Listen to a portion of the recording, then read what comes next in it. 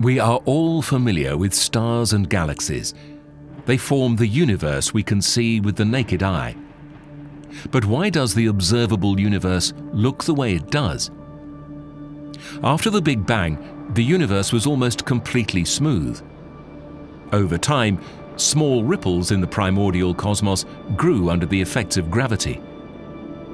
This formed the cosmic web of dark matter, the backbone of the universe. As the universe developed, the matter filling this web became hotter and hotter so that it shone not in optical but X-ray light. X-ray vision therefore shows a completely different universe. The hot universe dominated by gas with temperatures of a million degrees or more, and the energetic universe revealed by intense X-ray light emitted around black holes growing at the centers of galaxies. To understand the whole universe, we need to explore these hot and energetic components, not just the dark matter and the stars.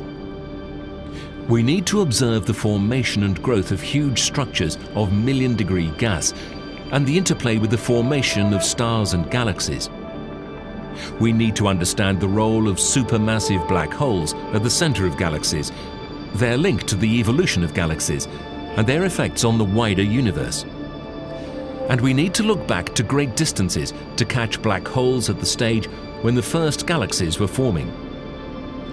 The hot and energetic universe can only be understood through a next-generation observatory working in the X-ray band. New X-ray telescopes are lighter and more powerful than ever before, allowing us to look into the deep universe, where the first gas structures and supermassive black holes formed. New instrumentation will allow us to measure the energy of the X-rays with exquisite accuracy and survey large areas of the X-ray universe 100 times faster than current facilities. This new technology will all be brought together in a new space mission, the Advanced Telescope for High Energy Astrophysics, Athena.